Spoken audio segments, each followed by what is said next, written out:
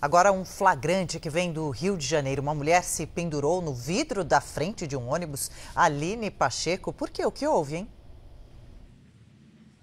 Olha, Adriana, segundo testemunhas, ela chamou o ônibus na Presidente Vargas à noite, querendo ir para casa, cansada. O coletivo não parou. E aí ela não teve outra opção. Saiu correndo quando o ônibus parou ali no sinal, se pendurou, subiu no para-choque dianteiro, agarrou ali no para-brisa até arrancar.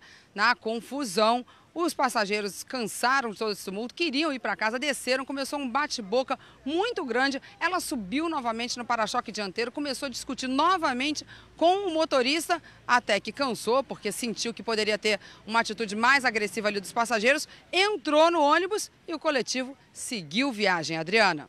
Que situação, hein, Aline? Obrigada pelas informações.